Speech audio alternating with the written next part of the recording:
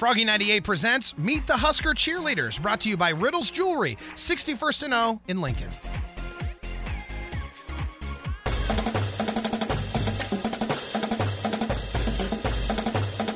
We're here with Shireen. Shireen is a, uh member of the Scarlets. How you doing, Shireen? Good. How are you? Uh, we're doing great. Thanks for spending a little bit of time with us. Yeah, of course. Thanks for having me. Now, um, i- is it okay for the cheerleaders? Can you date uh, the athletes?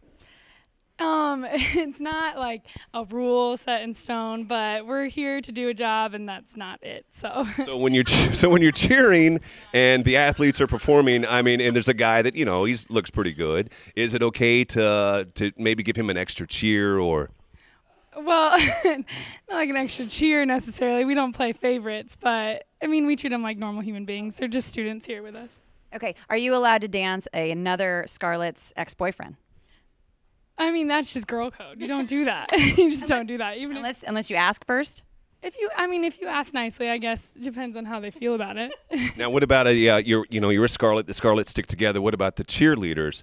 Is that a little bit of competition there? Is all of that off off uh, you know fair game or or what's the situation there? No, we actually have a really great vibe going. I think it's because we all share one coach, and a lot of us are in the same sorority, so we're all really close. So Okay. So, and what year are you?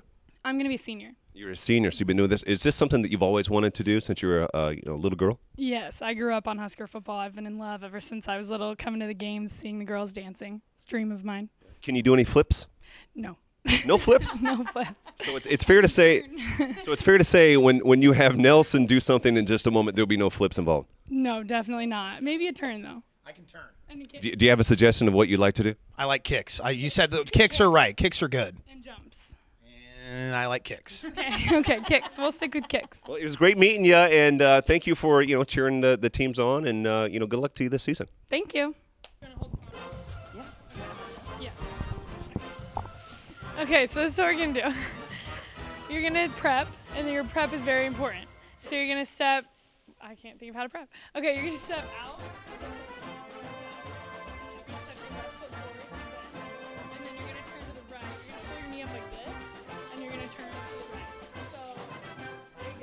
Yep, gotta take the shoes off.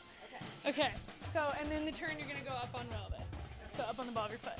Okay. So we're gonna prep on five, six, seven, eight. Out, one, two, step, three, four, and then turn to the right. Up like this. Five, six, seven, eight. That was good. Strong hand. Strong